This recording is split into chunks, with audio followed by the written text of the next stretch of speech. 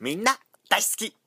フルーチェ今日はこのフルーチェを牛乳と混ぜずに食べてみたいと思います。果たしてどんなお味なんでしょうか。こちら揚げていきたいと思います。いや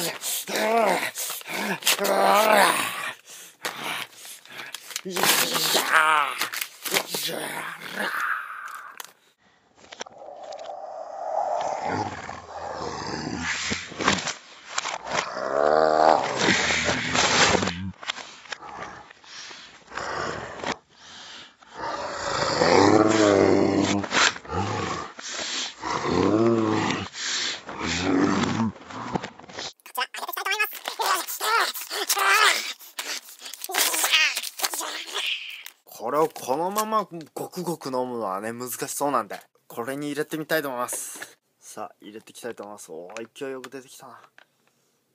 勢いよく出てきたなこれは。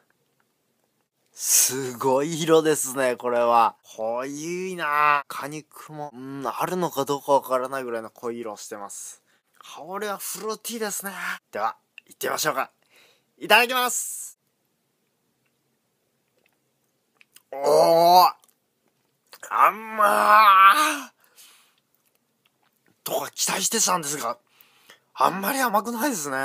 普通にイチゴのジャムみたいな全然うまいな、なんだよ。なんだよ、おい。全然面白くねえじゃねえかよ、おい。普通に美味しいよ、これ。嘘ついて甘いってことにするか。あこれ飲めないですよ、これ。厳しい。糖尿病になっちゃうぞ、これ。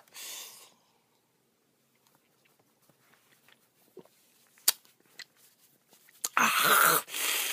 うめえ、無理無理。ああ。ジンマシンがいっぱい出てきた。ボコボコになっちゃいそうだよ、もう。